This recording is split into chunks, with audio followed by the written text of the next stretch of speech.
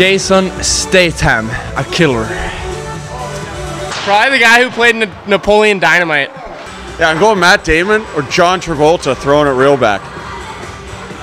Like young John Travolta, not old John Travolta.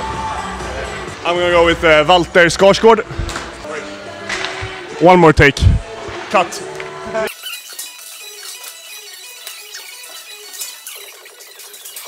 Uh, I think Margot Robbie would do a pretty good job.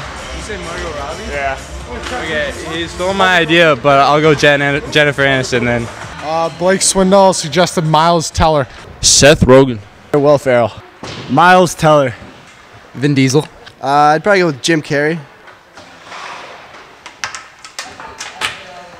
We're the cone heads. Pass. Shoot. Score. Ace Ventura all day. The guy from um from it's when the game stands tall. The coach Bob Ladouceur. Or, I don't That's know. me? Yeah, it's you. He's a religious guy who's all about the team. They have like a huge winning streak. Fair enough. You're definitely still the rock. Yeah, probably. I don't know. Doug Glatt, probably. Or Ron Weasley. Yeah, Will Ferrell. My curls. Jonah Hill. You know the movie Happy Gilmore? Remember when Shooter McGavin puts his ball in that guy's foot and have to kick it off of it? Yep. That guy should play me in a movie.